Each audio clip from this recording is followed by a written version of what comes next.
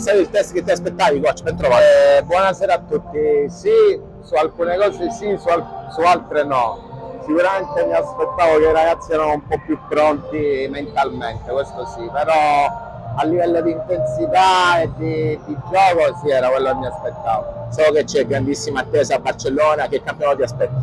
Eh sì, c'è tantissima attesa, giustamente dopo il bellissimo campionato dell'anno scorso un po' le aspettative sono aumentate. Io mi aspetto un altro grande campionato. Al momento stiamo, stiamo lavorando, siamo in rodaggio, ma alla lunga usciremo fuori. Un'opinione sull'avversario del Catanzaro?